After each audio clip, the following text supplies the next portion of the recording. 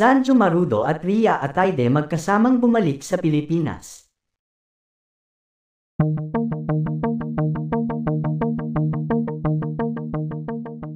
Tila nga ilang araw na ding laman ng balita ang ngayon ay magkarelasyon ng sina Ria Ataide at Sanjo Marudo. Naging usap-usapan na ang mga ito dahil sa balitang pagpapropose ng kasal ni Sanjo sa aktres sa New York, kung saan magkasamang namataan ang dalawang sabay na lumipad patungong New York kasama ang pamilya ng aktor.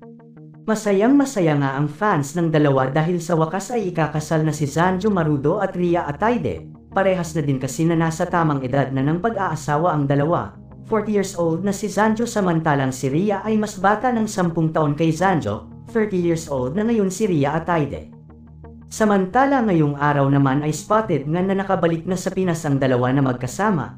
Ayon sa aming nakalap na impormasyon ay sinundo umano sa airport si Ria at Sanjo ng mga magulang ni Ria Ataide. Mukhang tanggap na tanggap na ng mga magulang ni Ria si Sanjo Marudo na maging parte ng kanilang pamilya, ayon sa ilang netizens.